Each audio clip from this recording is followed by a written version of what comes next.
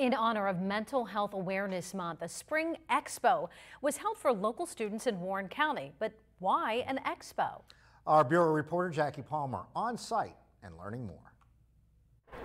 Over 32 different organizations were represented today at the What's Your 60 Spring Expo. An event hosted by the Warren County YMCA Be Well Collaborative where students were encouraged to learn about self-improvement.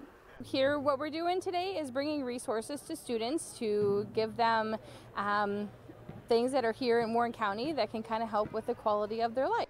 Resources spanned from volunteer opportunities with Warren General Hospital to learning how to rock climb. The focus? To help local students learn how to enrich their lives.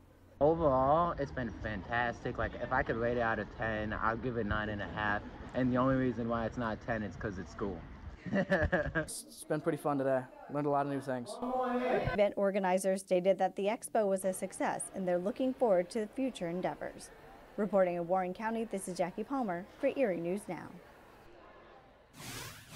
And for more information about what your 60 initiative, visit our website, erienewsnow.com. Also,